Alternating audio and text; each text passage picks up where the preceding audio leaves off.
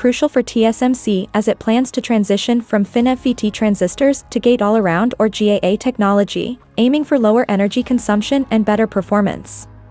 This innovation will make TSMC competitive against Samsung Foundry, which already uses GAA in its 3nm node. However, the delay could give its rivals a head start.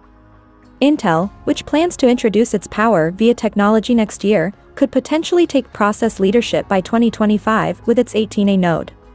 Meanwhile, Samsung Foundry is on track to launch its 2nm chips in 2025 and even has plans to begin 1.4nm production in 2027.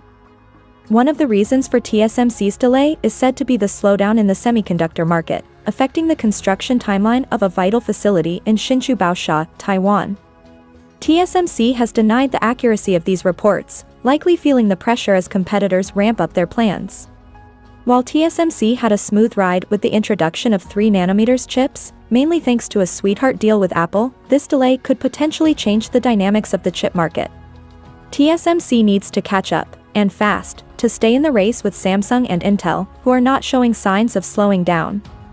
This delay may mold the chip industry a bit, redistributing the power balance among TSMC, Intel, and Samsung.